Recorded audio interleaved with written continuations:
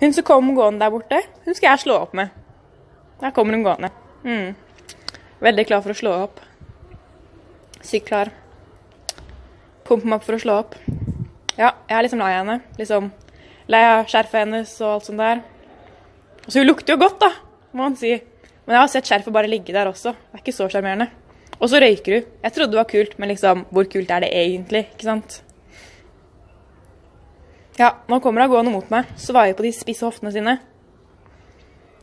Og så er det selvfølgelig leppene hennes, da, som først var sånn skikkelig harde og sånn. Men nå er de OK, I guess.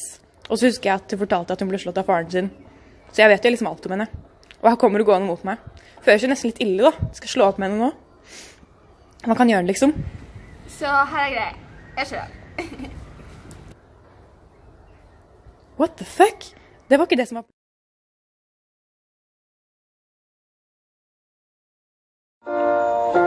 All around me are familiar faces, worn out places, worn out faces.